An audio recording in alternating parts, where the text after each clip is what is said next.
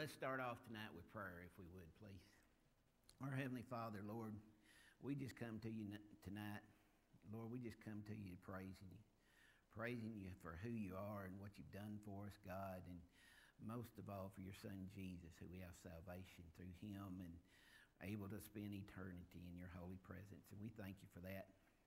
Lord, I want to thank you for each person that is here tonight, each family represented, each couple that's here tonight. Lord, uh, I just pray a special blessing on them and their families, God. Just watch over them, provide for them, protect them in every kind of way. Lord, uh, I thank you for this Bible study that we've had the last several weeks.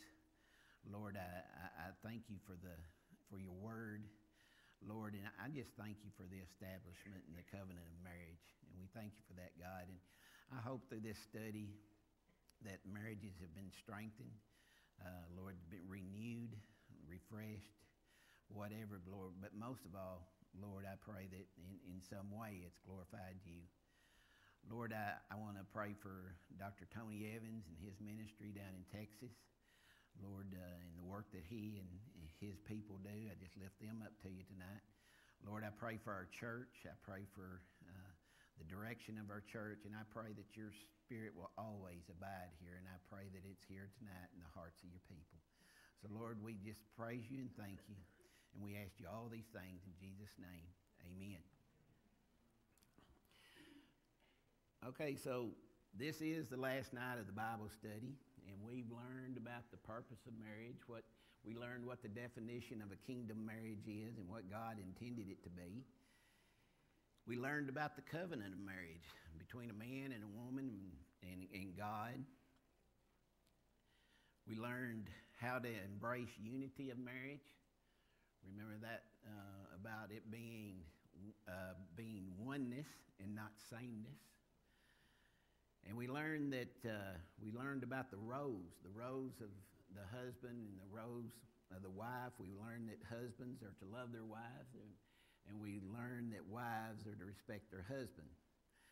Tonight's lesson is entitled Rekindling Your First Love. And, uh, and the main point that we're going to try to see tonight is that repositioning the priority of your relationship is the key to rekindling your first love and getting back what you may have lost as a couple. So if you've gone through this study and, and reviewed or took note of your own marriage and think that it may be lacking in some areas in what God intended, well, that's what our lesson about tonight. How can we push the reset button? How can we, how can we re- reboot? You know, some of you are uh, no doubt happily married. Some of you are just okay, but there's just n- not much fire there. And then there's some of you which could be on the brink. I don't know. You know your own personal situation. So tonight I pray that our lesson will, will, will enlighten you in some way and that God will, will uh, help you to understand the steps that maybe you need to take to get it back to where it once was, in other words. So, so tonight, that's what we're going to do. We're going to reset, we're going to reboot, and take it away, Lisa.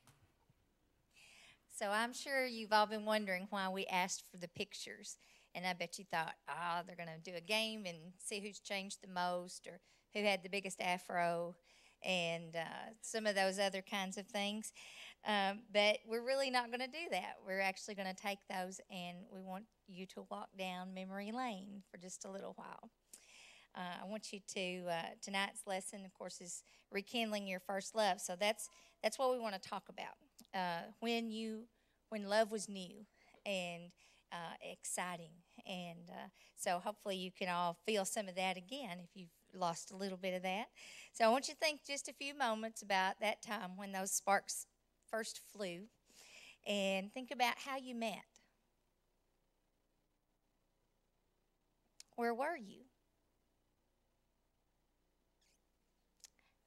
What was your first date? Who said, I love you first? When did you realize that you were going to get married? And what's your favorite memory of your wedding day? All right, so we're going to get the lights. And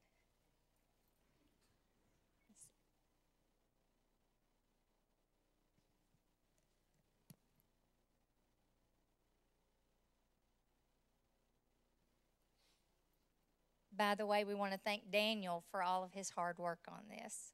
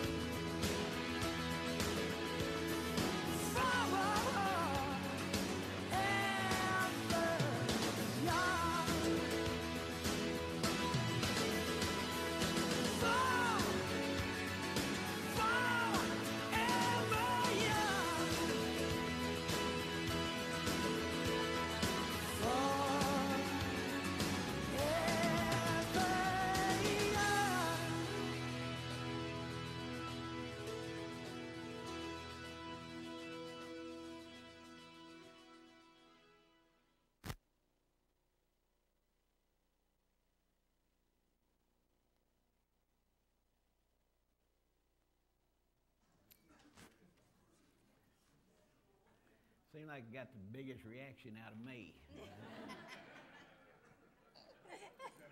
that hair was doing it, wasn't it? But he was styling. Let Yeah.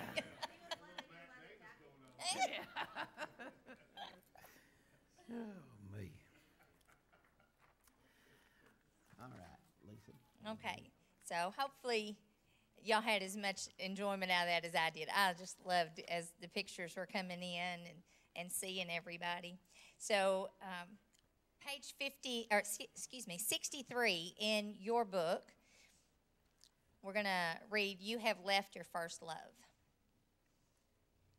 And when he talks about first love, he's talking about the love you as a couple had at first. Okay, read along with me. A church had been birthed in Ephesus through the work and ministry of the Apostle Paul. And in the beginning, the people in the church were on fire for God. Acts 19. They had brought out their trinkets, magic books, and anything associated with their old way of life and literally set it all ablaze out of devotion to God. Their relationship with the Lord was one of passion, zeal, and connection. Many relationships are like this when couples first get married. Personal sacrifice doesn't seem like sacrifice. Devotion comes naturally. Yet over time, as we will see in Revelation, that passion somehow morphs into performance as something in the relationship fizzles.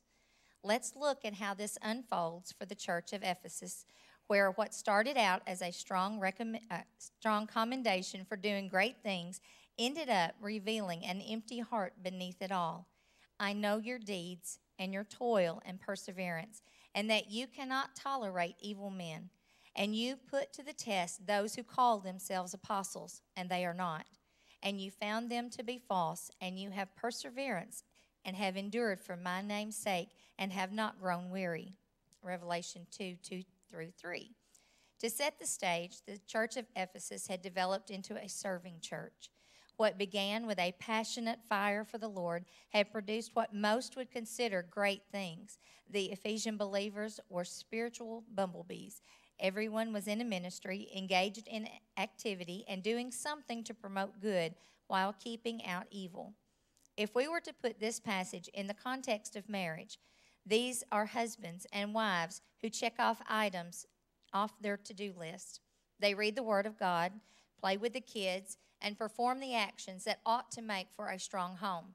They don't give in to laziness or selfishness, but rather seek to serve. However, there is a but. After all the accolades and praise for a job well done, God follows his message to the church with a small conjunction that had a large meaning. But I have this against you, that you have left your first love. Revelation 2 4. In other words, yes, church at Ephesus, you have done a lot of great stuff. Yes, you are the recipient of many compliments. But I have one major criticism that cancels out the rest. You have left your first love. A lot of things may be going right, but this one wrong thing is majorly wrong. Okay, there on page 65, there's a few questions that, considering what Lisa just read, you know, what happens to the fire that was there at the first? When we roll back the clock, we go back and we're at that stage in our life where, where those pictures were taken. You know, why aren't we there now? Why don't we have the same feelings now that we had then? You know, how does our passion morph into a performance over time? You know, well, I would think it's because real life sets in. We start getting a whole lot of other responsibilities in our life. We have jobs, we have household chores, we have kids and the demands that come along with them and their and their problems and, and their their issues that they have. And then then in reality we, we forget to carve out time for each other. We forget that we get so involved in all this that's going around around us that we sort of forget each other in that basically just like the church at Ephesus you know they were doing all these all this ministry all this program everything they were like like it said they were bitty bumblebees but they had left their first love It's all about keeping the main thing the main thing. With a church, the main thing is Jesus Christ, and you got to keep him the main thing. In our marriage, the main thing that started was our love for each other. And that's the main thing that we got. And we can do that. We do that through Jesus by putting him at the head of our church and then at the head of our life. And then his love flows through us to our spouse and everything just lines up. We were talking about um, how when you, even though you're doing good things, you're helping others, you're, um, you know, you could be doing church work, you could be doing all these wonderful things in your life. And what happens, or seems to happen, is the people who are closest to you, they get neglected whenever we start doing too much. And, and it just kind of happens because you, you have deadlines to meet. You have to do this, you have to do that. And, you know, they're going to they're gonna be okay. And then eventually they're not okay. You know, I, I wrote this down in my notes this week, and, and I thought about, I don't know if you know, you know, Joe DiMaggio was married to Marilyn Monroe for nine months. After she died for nearly two decades, for about 20 years, he sent half a dozen roses to her grave three times a week for 20 years. And, and I, I don't know, you know, what made me think about that, but it, but then I got to think about roses and sending flowers. And, you know, you could send your wife a dozen roses every week. But if the love is not there, it's just a performance. And I think that's sometimes what we fall into. You know, we do do some nice things some, from time to time, but there's no love there. It's just a performance. We're just acting. So, why is the fir- why is first love so important to God? You know, we'll hear on the Dr. Evans tonight on the video and learn from the video to answer this uh, because first love is different than just love. He draws the different, tells what the difference is. You know, when somebody feels first, they are the most important, they are the most critical. Whenever he tells you the definition of love, he replaces the word compa- uh, compassionate with passion. Is that right? No, it's backwards. You replace, you replace passion with compassion. Yeah, he replaces passion with compassion. So we'll see that tonight in the video. And it's time for the video. So Bobby, if you're ready, we'll go ahead and hit the lights and we'll we'll watch our last video of the Bible study.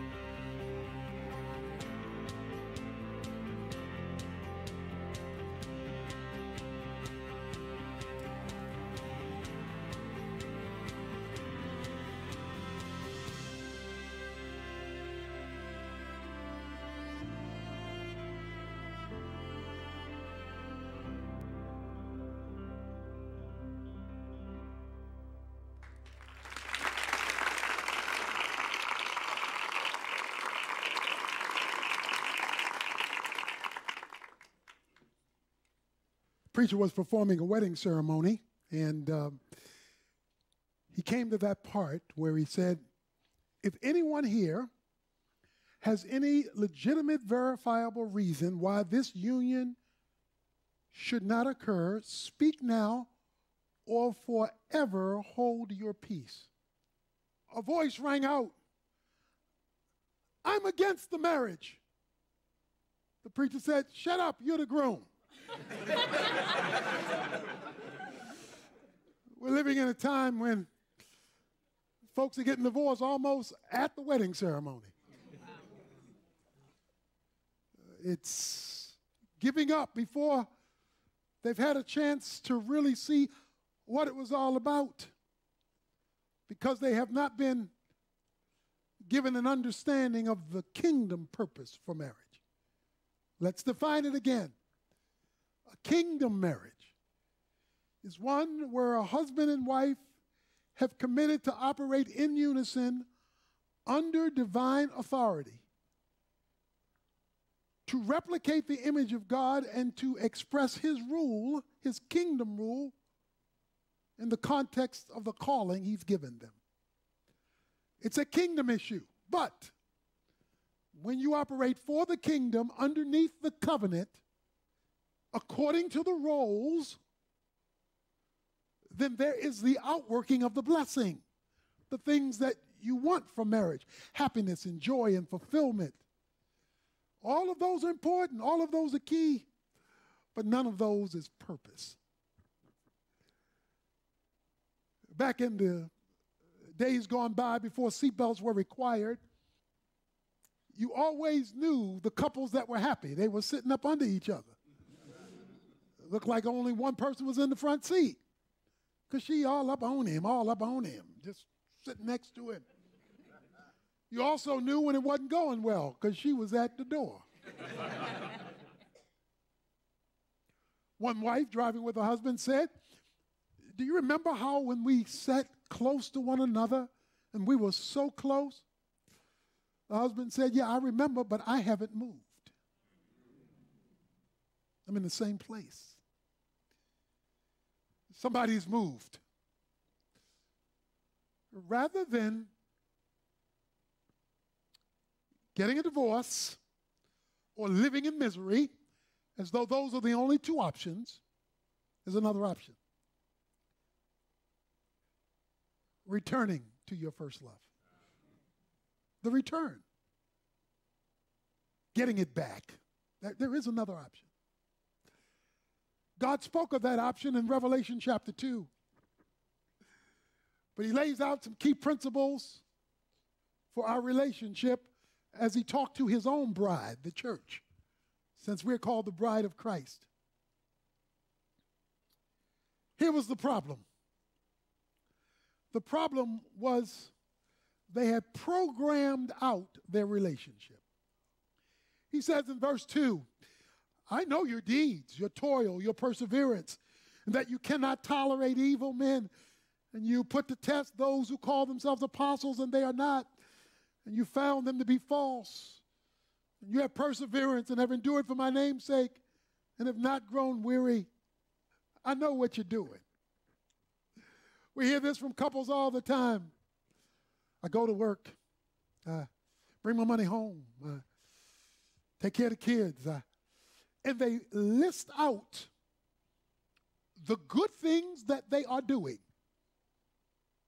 Why should you be complaining? I cook, I clean. Uh, the good things. Now the bad things are obvious, but but what about when you're doing all this good stuff like they were doing? And God says you're doing it. I recognize you're doing it. You got a program. But the program has killed the relationship. Notice what he says.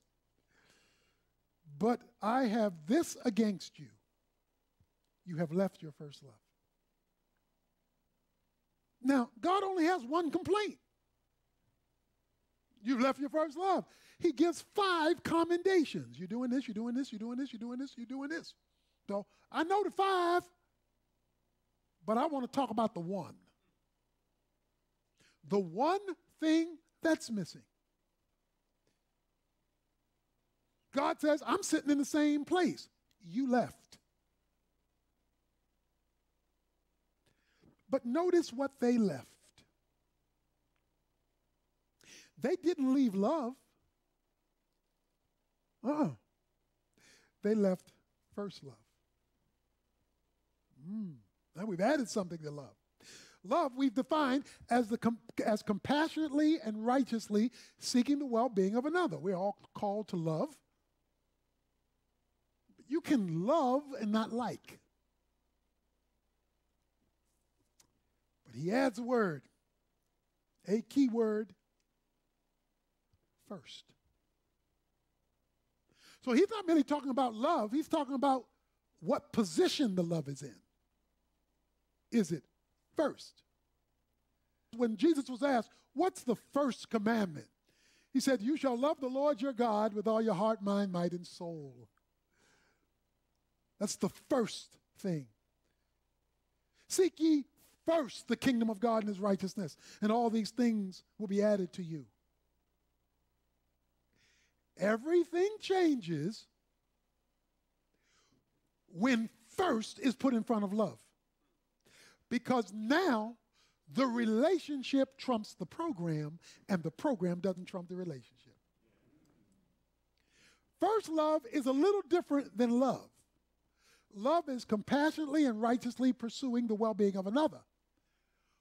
First love is passionately and righteously seeking the well being of another.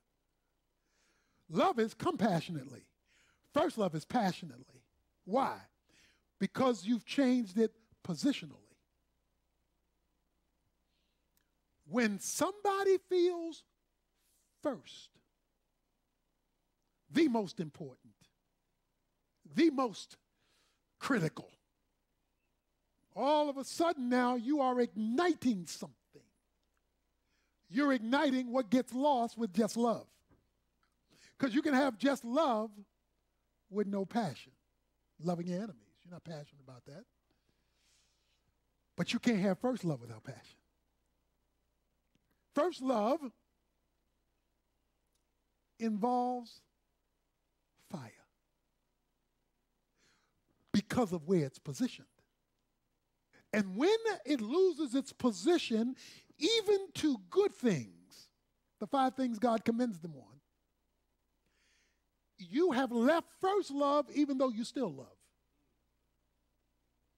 A lot of folks get divorced, still love, they just don't love each other first. the guy loves the business first, she loves the kids first. Something else in the program has shifted this thing. And when it shifts it, remember the story of Martha and Mary? Martha is in the kitchen and she's sweating. She's working so hard to prepare Jesus a good meal. And she had to be frying chicken since they were all preachers, and that's the gospel bird. Uh, but she's making this big meal up for Jesus and the disciples. And Mary is out there sitting at Jesus' feet, just soaking it up. Martha is a little bit evangelically ticked off. She marches out there and says, Jesus, would you tell Mary, since I ain't talking to her right now, would you tell her to come in the kitchen and help me? I'm doing a good thing. Jesus says, I will not. Mary has chosen the better part, and I will not take it from her. She's chosen relationship over program. She's chosen to be at my feet. Now, do I want you, Martha, to do nothing? No, but one thing is necessary. Guess what, Martha? A casserole will do. I'd rather have a casserole with you out here than to send Mary back there with you and have two frustrated folk in the house. Because when things get shifted the program, everybody gets irritated and frustrated. The, the relationship, the kids, everybody, everything gets out of order because the relationship priorities has shifted. He's talking about now first love. It's an order thing. He says, and you've left your first love, and so there is no longer fire in the house. The fire is gone because the program has replaced it. A simple shift from love to first love. In other words, repositioning the priority of the relationship is the key to getting back what you may have lost over the years and the history of all that has taken place, causing the relationship to become dulled, causing to now there be discussions about divorce or a decision to live in misery. No, he says there must be a recalibration of first love. You know, everybody who knows me, whenever I'm eating somewhere and they know me, they know to bring out the Tabasco. I am a connoisseur of hot sauce. I love hot sauce on just about anything. The hotter, the better. My wife finds new hot sauces just for me to try. so that I can just just just get it. Because no matter what it is, I want to make sure I put the fire on it. So no matter what's being served up in the home and in the marriage, make sure you always put the fire on it first. See, because then you're lighting up everything. Everything is being set ablaze and being placed on fire because it is first. And when we get into the habit of it being first, then you got to do the program. I remember one time when I was catching flight 72 out of Atlanta to Dallas. I'm catching flight 72 out of Atlanta to come back to Dallas. There is a famous restaurant that fries chicken in Atlanta. And uh, they had a, a branch of it at the airport. So I, I, hadn't tasted this chicken in years, and so I had to get this chicken. This because I because I lived in Atlanta for a while, and, and I love this chicken.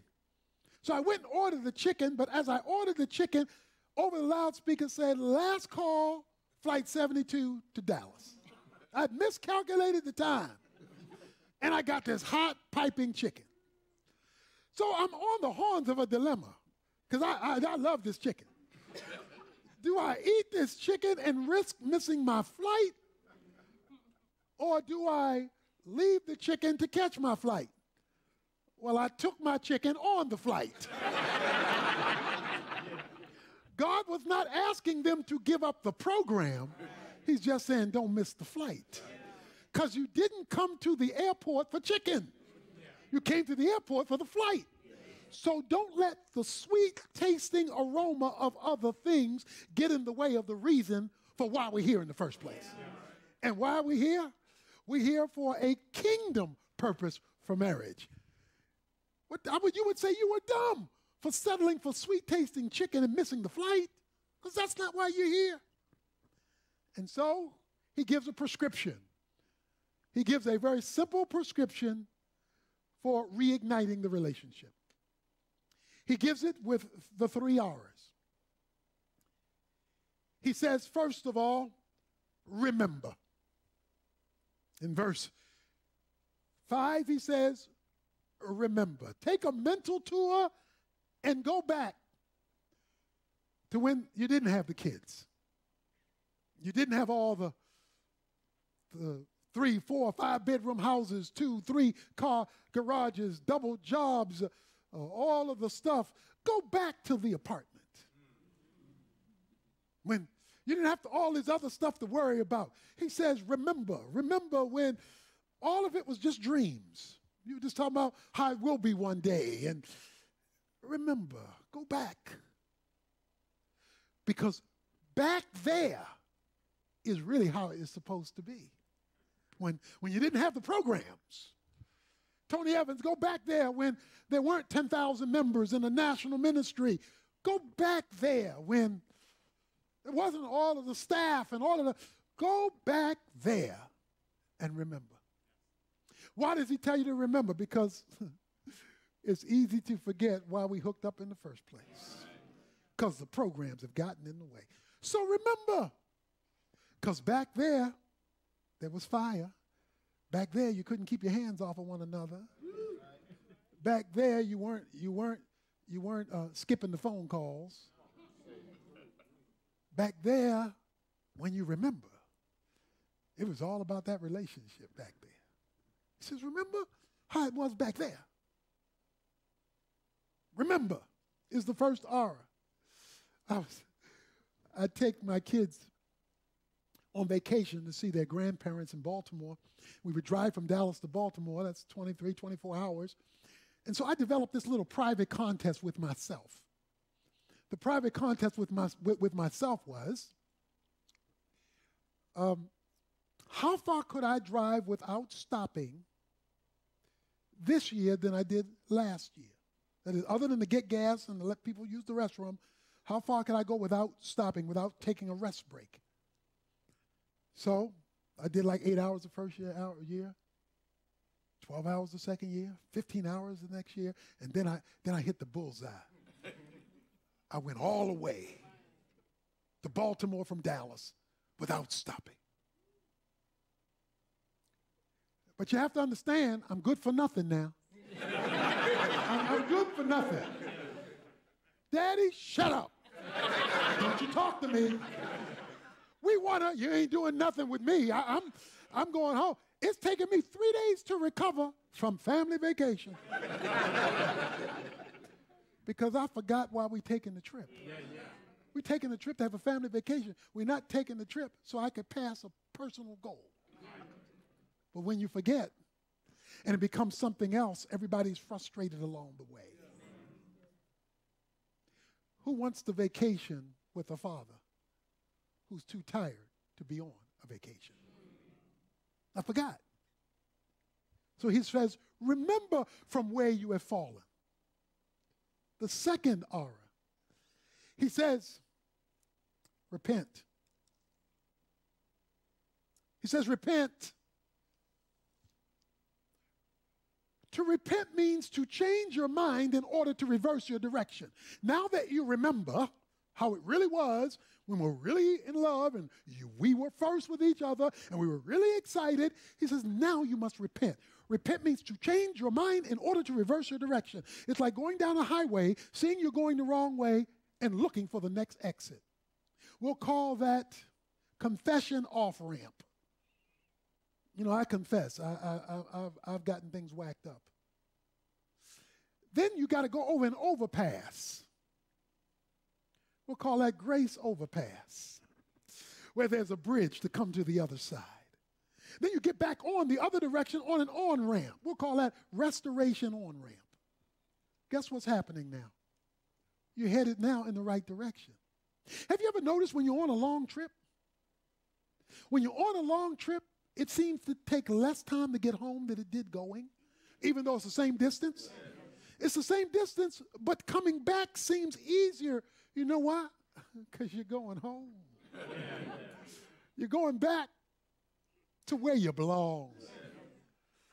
So it's confessing. I've left. I haven't prioritized this first. Give me the grace to cross over. Give each other the grace to cross over and then restore each other so we can get home. How do you get home? First one is remember. The second one, now that you've remembered, repent. Repent to God, repent to your mate. And then finally, he says, repeat. Do what you did at first, verse 5 says. Do what you did at first. Mm. Go back there and repeat the stuff that you did that set the flame initially. Some of our wives were not that impressed with us at first. But then we started messing with their heads. We got in their heads. And they went from, I don't like him to he all right. Then it went from, I don't like him to he all right to he kind of nice. Then we went from, I don't like him to he all right to he kind of nice to, girl, I'm in love. what happened? You kept, you kept at it. You kept at it. You kept at it. You kept at it. You kept at it. And you broke down that resistance. So, given the history, given the breakdown, how long it takes, it's not going to happen overnight. But you come at it. You come at it. You come at it. Why? Because she's been created to respond. She's been created to respond. Now, there may be a brick wall up now because of history, but you come at it and you come at it, you come at it, you come at it with the principles that we've learned with a kingdom purpose and perspective, and you come at it, you come at it, and you come at it, and you repeat your first works over again, creating this first template. And then you enter into a return to your first love. You into a restoration. Now, there are different kinds of people who are here and who are, are looking at this study. Some are happily married, and this is a refresher. Some are doing okay. It's not exciting, but you don't want a divorce. You just, the, the get up and go has gotten up and gone. No fire, but, but we're okay. Some are on the brink. It's touch and go. Don't know if I can stay in this. The beautiful thing about God is he can hit a bullseye with a crooked stick. If you will return first to him and then to each other, you can begin to experience restoration. Don't trade in a car when all you need is a tune up.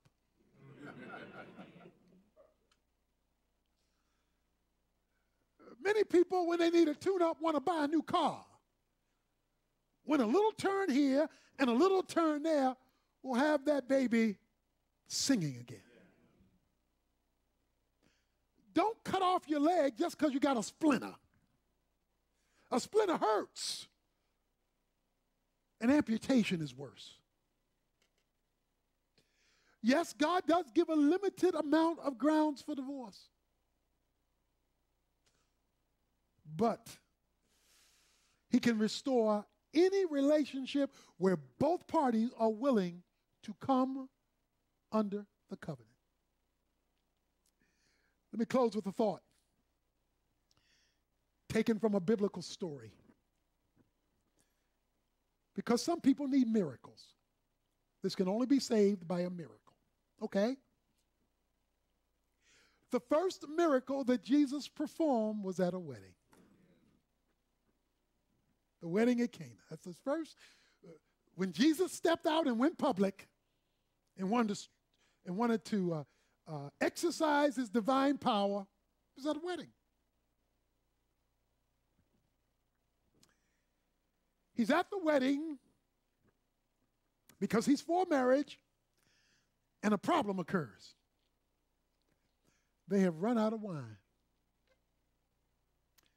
They've run out of the good wine. You served the good wine first. In the Bible, wine was always related to joy when not related to drunkenness, it was related to joy. So you'll find the word wine used throughout the Bible for celebration and joy. So it was at a wedding. But the good wine was gone. Back then, weddings weren't a little reception like we have today. Weddings were extravagant, ongoing events. So people sometimes would be there for days at the reception. And so the wine was gone, the joy was gone. Jesus' mother goes over to Jesus and says, Jesus, this would be a good time for Clark Kent to find a telephone booth. this would be a good time for you to do your Superman thing. This would be a good time for you to stretch your stuff. This would be a great time for a miracle. Jesus said to her, Woman, my time has not yet come. Meaning, this is not the time for me to go public yet. I'm, I'm not ready to, to put on my cape and my, you know, my jumpsuit with an S on my chest yet.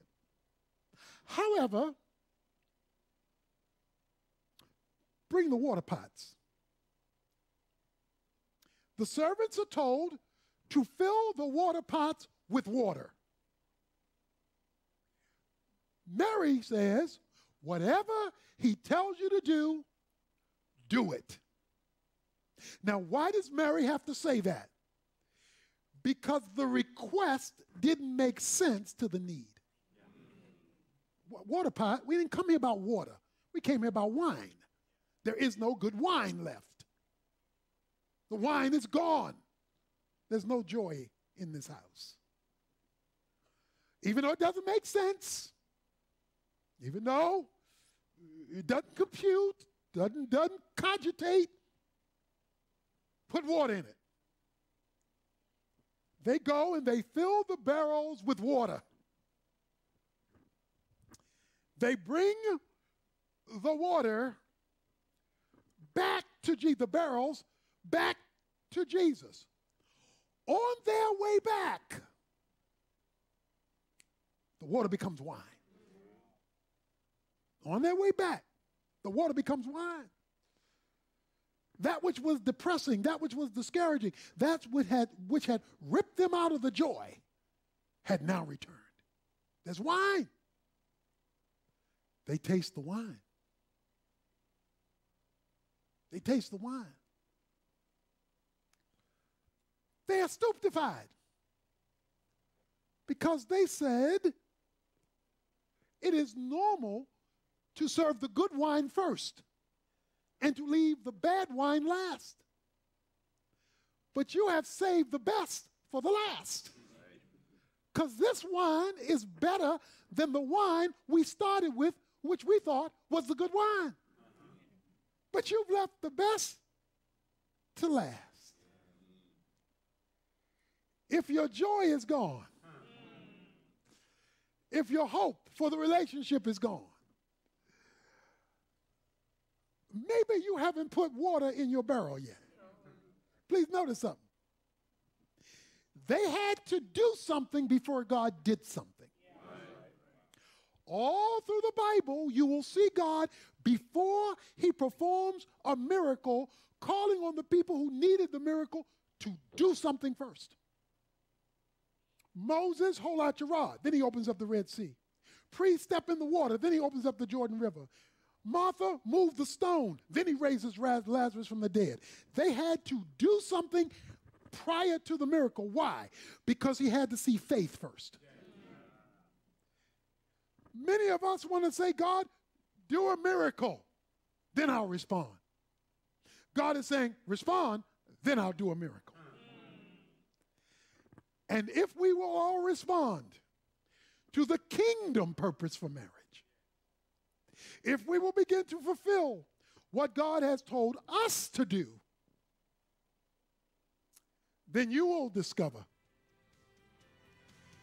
He has saved the best wine for last.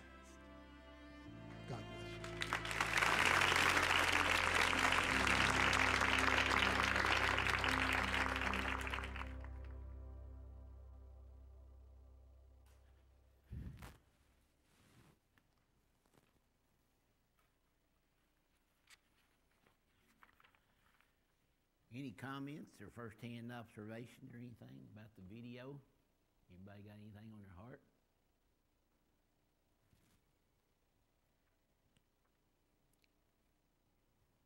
Okay, I'm on page 66 in your book, and we'll look at these questions tonight.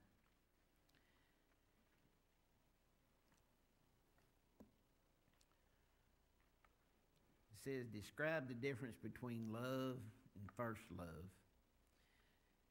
You know, how can you love someone but feel no passion for him or her?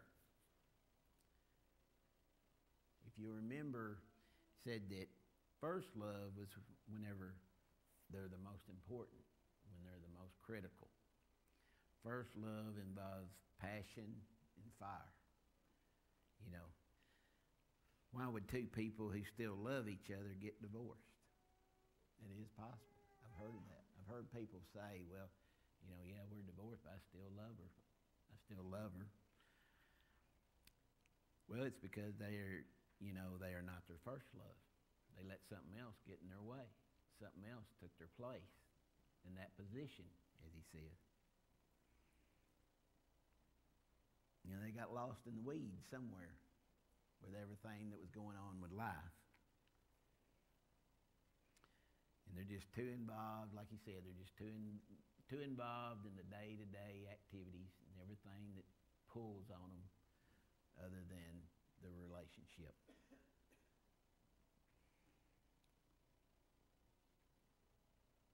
Okay, second question is, when Jesus visited the home of his friends Mary and Martha, I said, Martha worked hard to do all the things a good hostess does while Mary sat at Jesus' feet and hung on to his every word said, what does Dr. Evans mean when he says Mary chose the relationship over the program?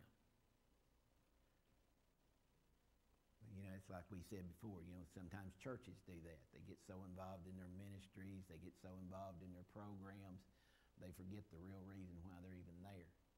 And the same thing can happen in a marriage. Mary she chose being at the feet of Jesus and listening to, hanging on to and listening to every word that he had to say. Whereas Martha was involved in the program. She was more worried about the dinner, about cooking dinner for the men and the, the folks that were there. She, like you said, she didn't do, you know, not necessarily wrong. It's just that uh, she was letting the program get in front of the relationship.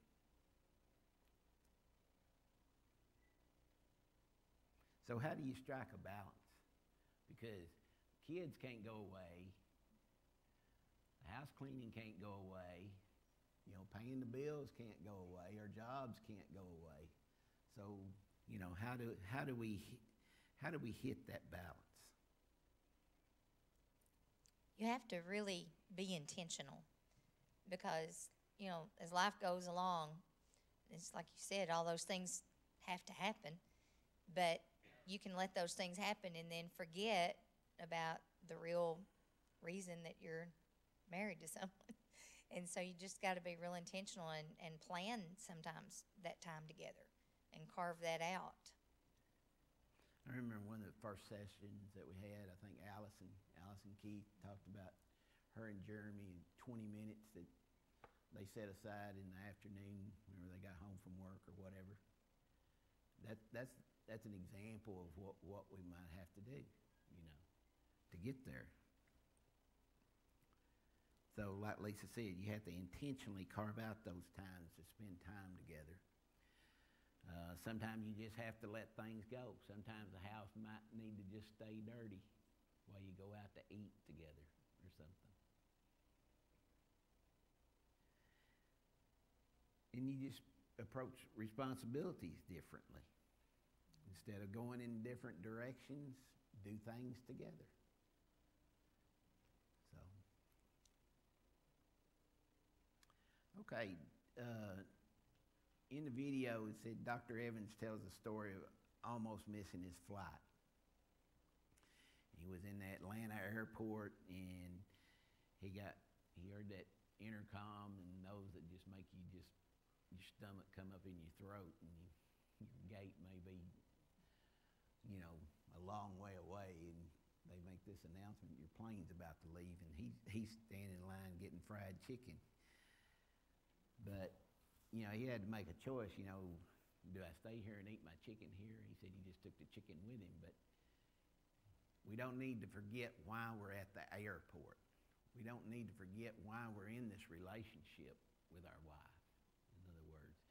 We don't need, as a church, we don't need to forget why we're here. It's like I said earlier, the, we're, we're here to worship God, to worship Jesus, and keep Him as the main thing. you know, why do couples sometimes lose sight of that true purpose? And I wrote down that their relationship with the Lord has been neglected and they've lost sight of what a kingdom marriage, what a kingdom marriage is.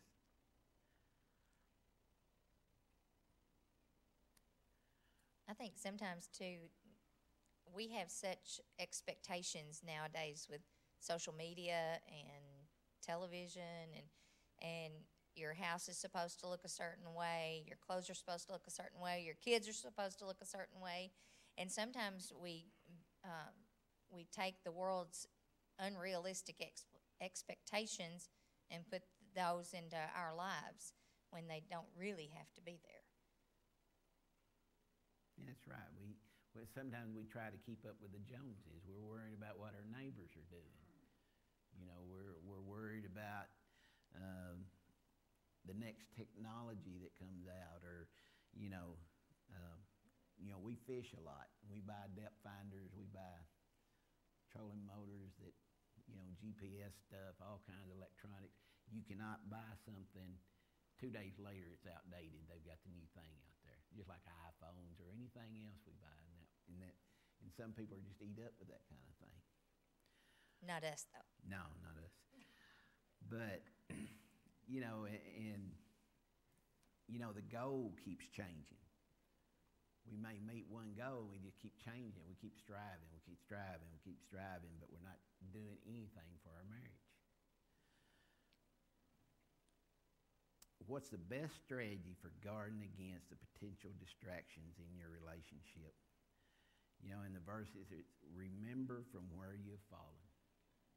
You know, go back to that time. Remember from where you came.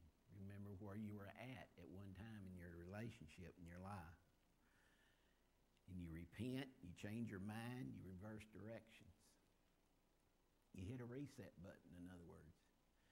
You repeat. If you keep doing, just keep doing what you're doing, it's the wrong thing to do, you're going to get the same result. You know, you need to stop and just reset. Just like reboot, rebooting your computer. You know, sometimes you fool your computer, you can't get nothing to work. Finally, you get so upset, you just grab a hold of that power cord and just jerk it out of the wall. That'll fix it. but sometimes that's what we need to do with our marriages. And I'm not talking about ending them, I'm just talking about rebooting them. Start over, start from scratch, go right from the first. Okay, on page 68 said, according to Dr. Evans, the first step in reigniting the fire in your relationship is remembering the early days with your spouse. He said, when you go back to that time before you had kids or a mortgage or anything else together, what do you see? What do you see? Anybody want to tell us what you see? I'll tell you what I see. See, I see a 60 by 12 1969 mobile home with a rotten floor in it. That's what we had. When the wind would blow outside, our curtains moved. Yeah. Not lying. Yeah, we, uh, I know, I probably told this before, I might have done it in this study, but we bought 500 gallons of propane.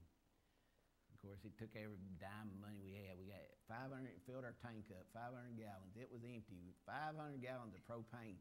It lasted two weeks, and it was gone. that's, that's how drafty that old trailer was. It was pitiful. You want to tell them falling through the floor? And yeah, well, I yeah, I actually fell through the floor. Um, my brother-in-law was knocking at the door, and I had gone to get something in the living room, and I wasn't. I had just been in the shower, and I wasn't completely clothed, and so I was like, "Don't come in!" And I turned around to head back to the to the bedroom, and literally one leg went all the way through the floor, and so the then. I'm screaming, and he's like getting ready to come in the door. I'm like, "No, no, do not come in!" and it, so it took a little bit of time to get my leg out. But anyway, yeah, it was it was really bad, and um, it, we had we had literally had uh, boxes of college books sitting over holes in the floor, um, and and I don't know that I told y'all this, but when we got married, I told you I was young. I was 17, but I had not started my senior year in high school yet. We were between, I was between my junior and senior year in high school. It was actually cheaper for us to get married at that time than it was to date because of the way the economy was. But, um, uh, so yeah, we started out with nothing. And our first car, when I drove it through the um, McDonald's drive through, they asked me not to do that anymore because it smoked so bad that they got choked up. So, so it was bad. But we, um, yeah. But my father-in-law, when, when we talked to him about getting married, he said, "Well, you've got to finish. High, you've got to finish high school." And I said, "Well, the plan is to go to college. So I think that's a, rec- a prerequisite to get into college is finishing high school." But uh, so anyway, uh, we are we are we go against the statistics. Most people wouldn't be at 40 years plus of marriage if if that was the way you started out. But um, we were we were blessed, uh, and the Lord just blessed us, and and uh, all through the the times of of not having anything, he was he just we just lived on love because that was all we had, Yeah. and so Yeah, I can remember we used to gather returnable bottles. Some of you young people don't even know what a returnable bottle is. But you had to pay a deposit on them. If you knew the grocery person, like the, the guys out in the store out at Kirksey, they wouldn't charge you the deposit. They just trust that you'd bring them back, you know.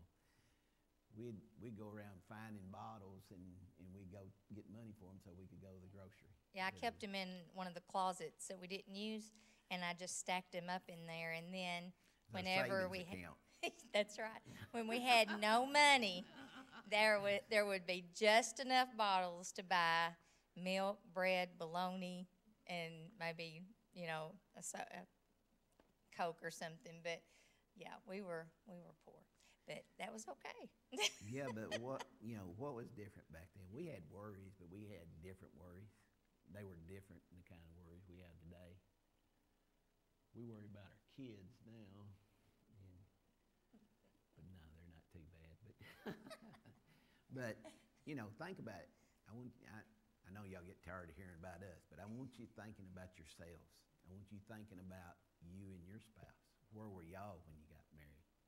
How were things back then? What was different? What did you worry about then that you don't worry about today? And how did it make you feel when you recall those days? Well, you know, it it's I'm fond of those days really because for many of us, I mean, you know, like me and Lisa, love was about all we had, and it was a sure thing back then. Brother Jim, yeah.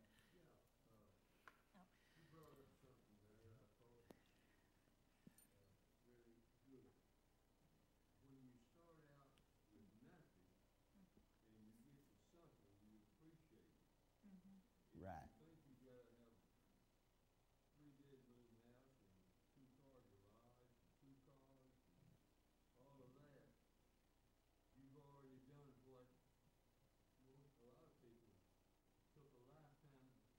Right. Right.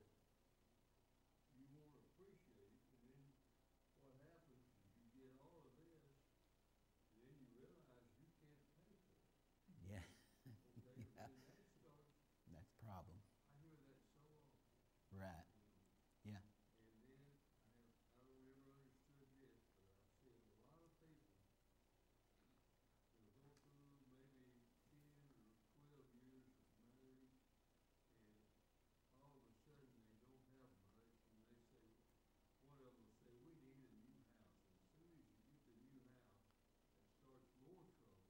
Right.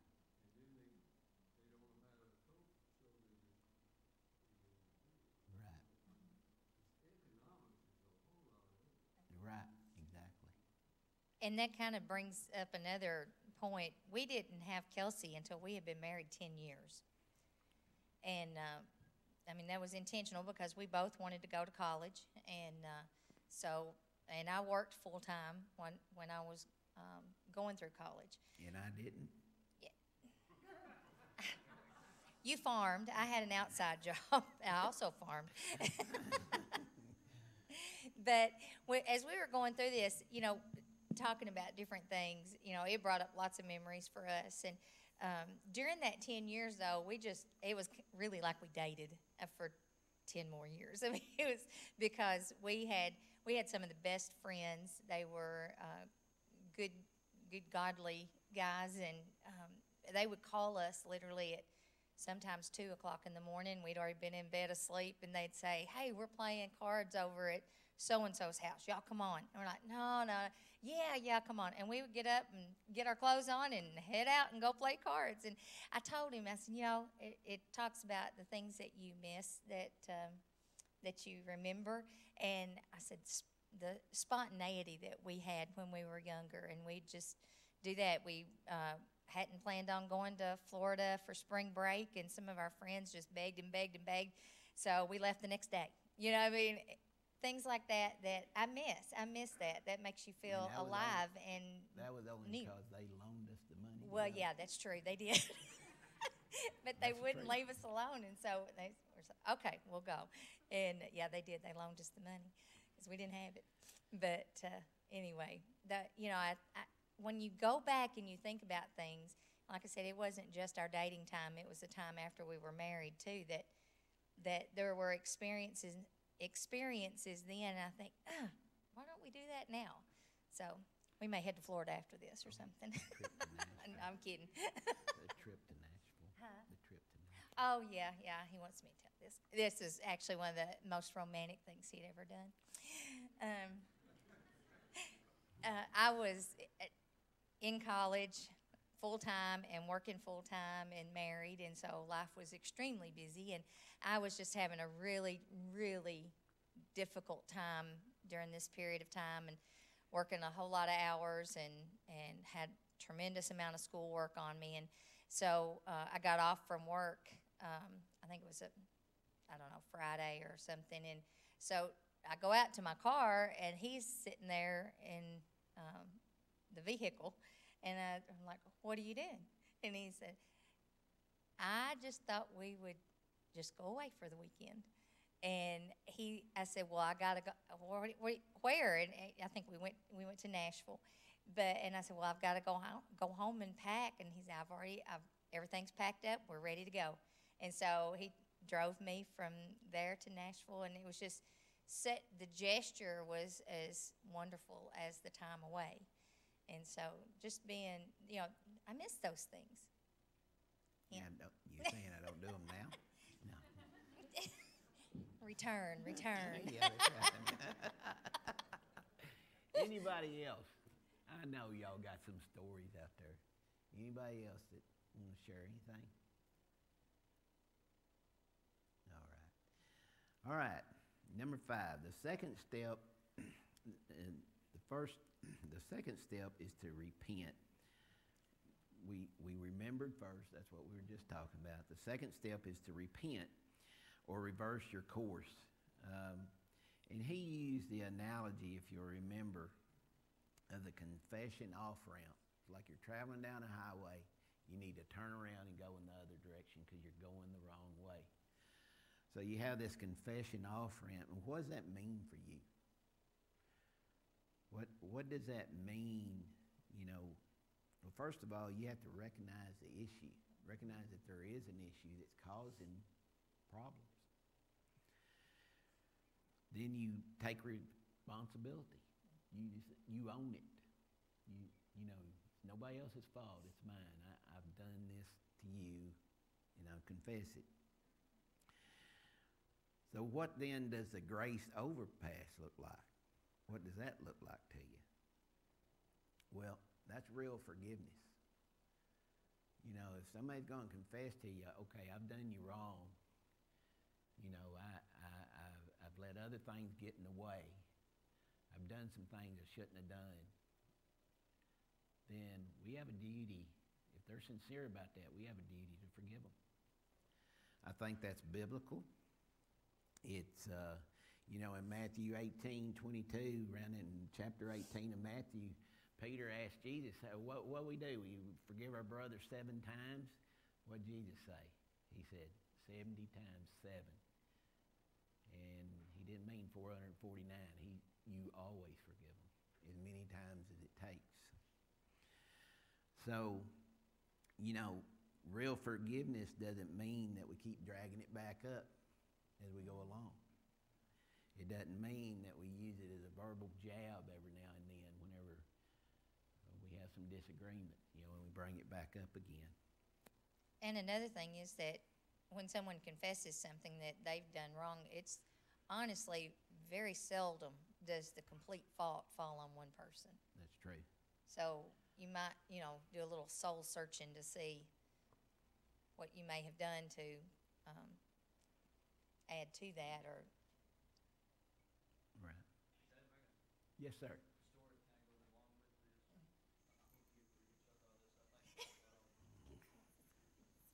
So, Tess and I got married, and uh, no, it's not going to embarrass. It's not. Thank you, Andy. So we got married, and we we hung out at church, and uh, I had never really driven cross country, and my sense of direction is horrible. Uh, I get turned around. People all the time trying to tell me how to get somewhere, and they'll be naming buildings and streets. I'm like, "You- no, I don't, I don't get it. So at 20 year old, we took off. We were going to go to Gatlinburg, and in Nashville there was construction, and I got on an off ramp, and uh, it was dark, like it, it was late. Uh, I had no clue where I was at.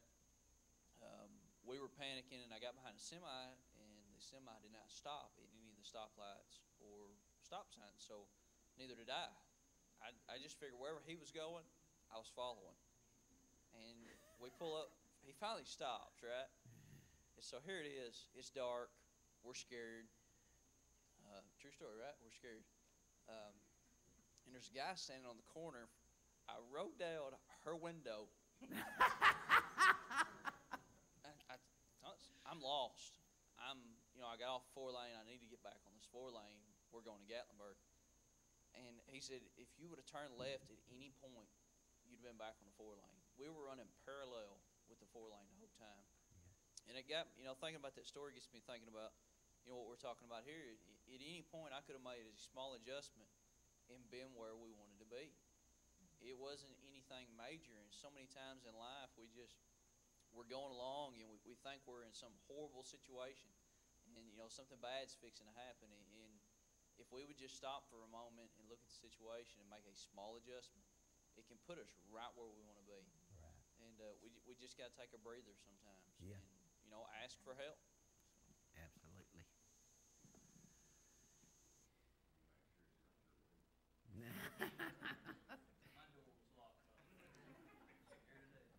Anybody else? Okay, that second question right there says, in what, this really hits home to me too, if, if we were, in what specific ways has God extended grace to you? Wow. You know, when we stop and think about that, about God extending grace to us and who we are, then we certainly need to extend grace to our spouse. You know, first of all, salvation, of course. While we were yet sinners, Christ died for us. I mean, we were just sinners, and He died for us. You know, I was saved when I was eight years old, like I've told many of you before. But when I was young, teenager, and in college and all, and you know, God showed me a lot of grace during those times. I might, I wasn't as close to Him as I am right now, but He showed lots of grace on me while I was an idiot. He He really, you know, He He He He had to put double angels on me. Some of the things I pulled, but He took care of me. He He showed me grace. When I was an idiot. That's going to be the name be of it. You know, we were leaving Opryland. Y'all remember Opryland? Oh yeah, you're good. Uh, yeah. We was, le- we was leaving Opryland. We'd been there all day long. It was hot. I mean, our all of our hair was matted to our head back when I had hair, and uh, we we was leaving. Uh, It, it's hard. It was hard to drive in Nashville because you didn't go very often. Right. You know, now you just you got you got Google Earth. I mean, you can go through, any, you know, but uh, I make the wrong turn, pulling out, and I I go totally the wrong direction. I was so sanctified then. I got so mad that I started. I just hit the steering wheel, the middle of the steering wheel, about three good times, just out of frustration. and the horn got stuck. and I pitched a little fit, and there's my kids in the back seat. You know, I'm, I'm, I'm. Oh, that's bad. We're going down, down the road with the horn on. so I pull over, and disconnect the horn, and that's that kind of. That was the story of our life back then. You know, Yeah. I mean Yeah. until uh, anyway. But you know, we always work through it. Oh yeah. Now we look back, think of every time, every time we see a white Taurus. Yeah. oh man. Anyway, I thought we might, y'all might want to know that one. All right. So, in in what specific ways can you extend grace to your spouse? And I was going to, you know, we can show our spouse lots of grace, and and I chose, and Lisa and I talked about it. First Corinthians thirteen, verses four through seven. If you recognize that, that's a love chapter, but 1 Corinthians 13. Love is patient, love is kind, and is not jealous. Love does not brag and is not arrogant, does not act unbecomingly. It does not seek its own, it's not provoked, does not take into account a wrong suffered, does not rejoice in unrighteousness, but rejoices with the truth, bears all things, believes all things, hopes all things, endures all things. If we love our spouse and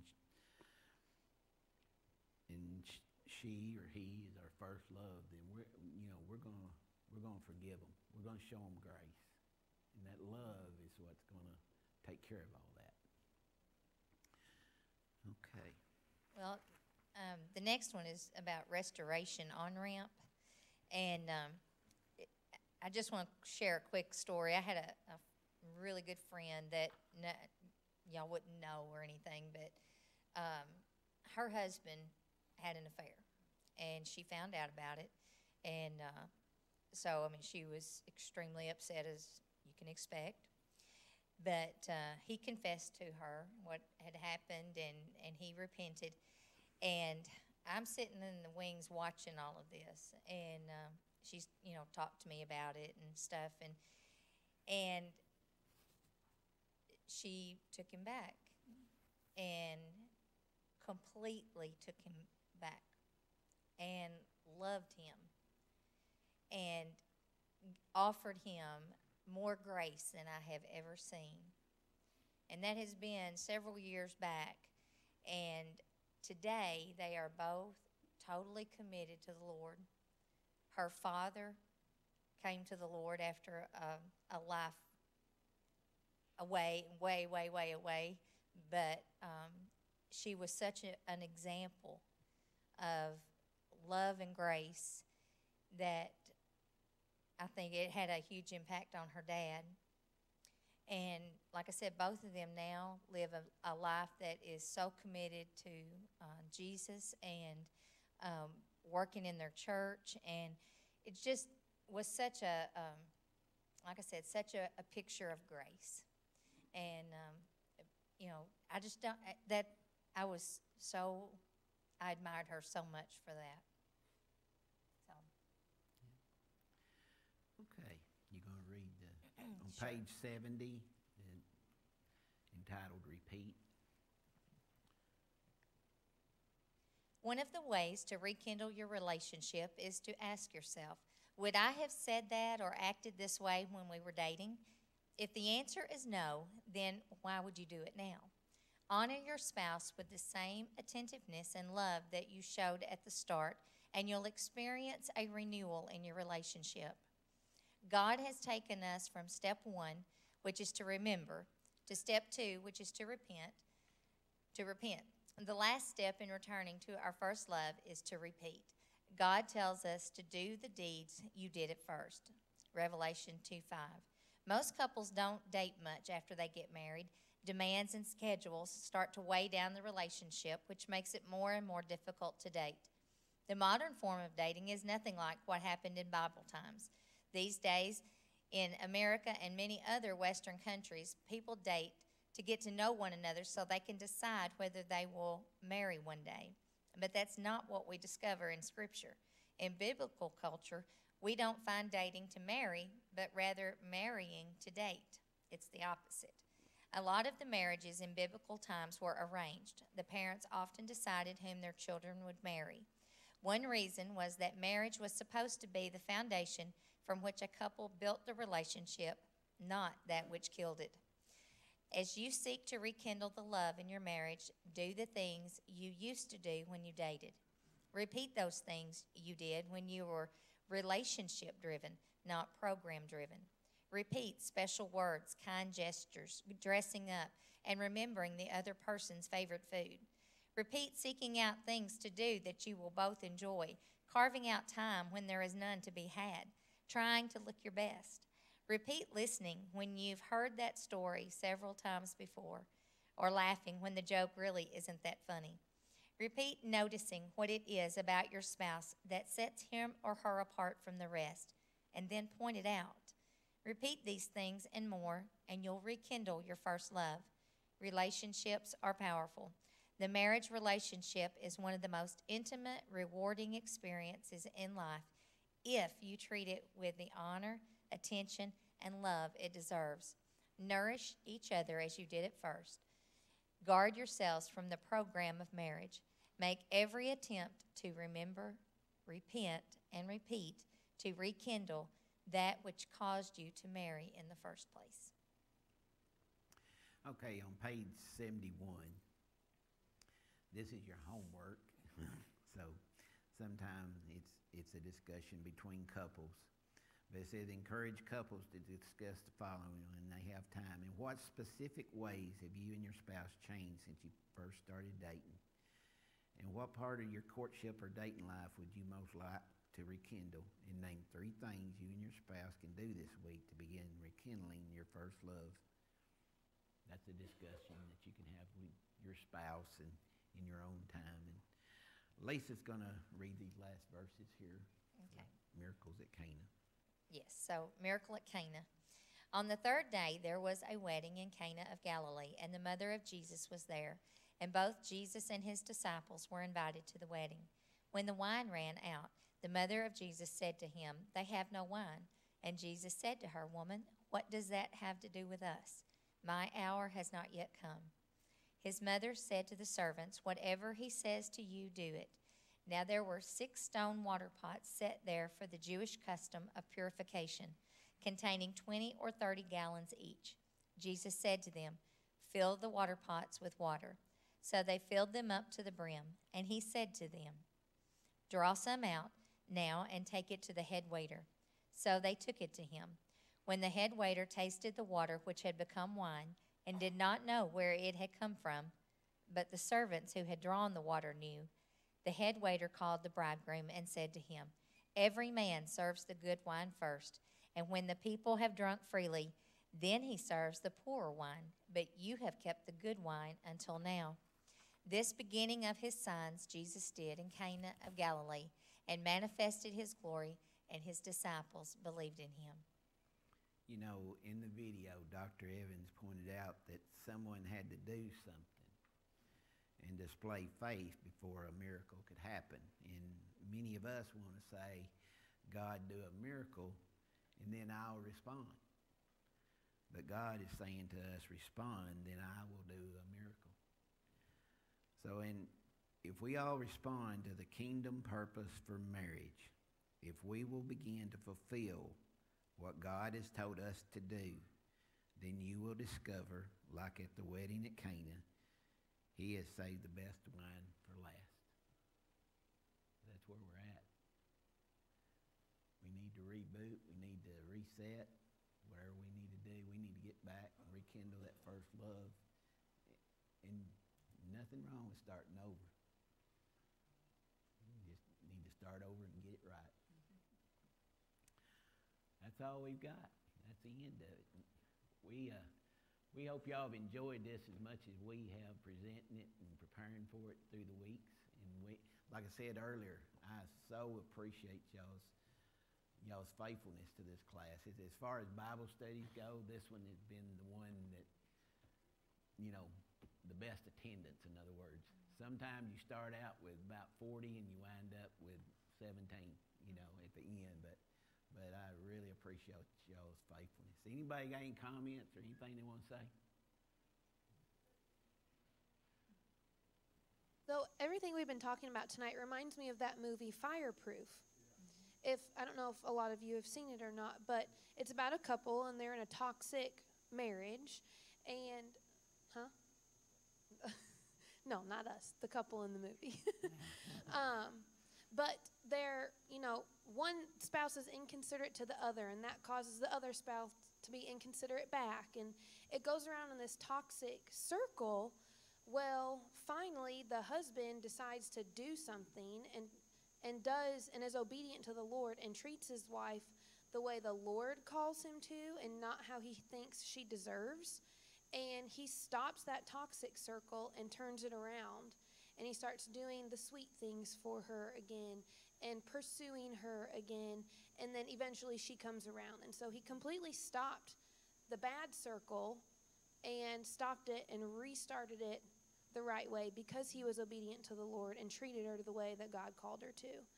And we took, uh, we did a Bible study here quite a few years ago that the Hungerfords led on marriage. Kevin doesn't even remember that Bible study. so apparently it was for me. But they talked about We talked about it at the beginning of this and he was like, "What Bible study?" Anyway, it, that's what sunk in for me was you can be going in a circle the right way or the wrong way. And you should always treat your spouse how God tells you to, not how you think they deserve in the moment. And that has served us fairly well. Anybody else?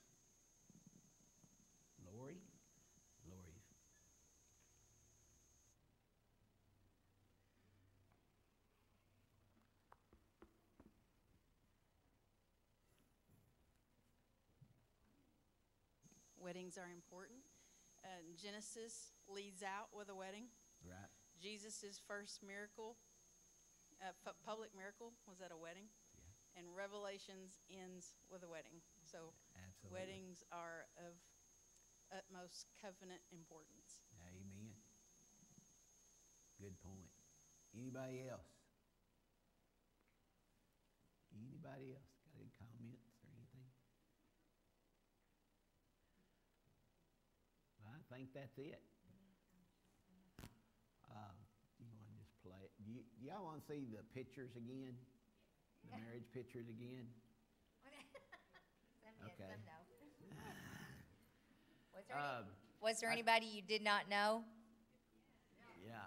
Okay. How do you want to do that? You want to stand up? Yeah, uh, Bobby, can you play it? Who's If the you- first one? Uh, the Howards. Yeah. So if you would, when when you when it's playing and it's you, stand up. It's okay if you're by yourself tonight. He's working.